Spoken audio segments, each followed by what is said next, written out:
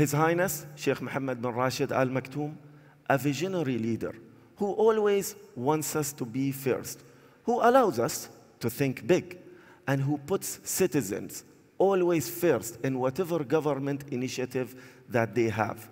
A leader who goes on the ground to get feedback from the people who are closer to the citizen rather than getting feedback by sitting in the office. A leader who is really humble, who can connect to different people around the, uh, around the city, who acts like a father and sometimes who acts like a son.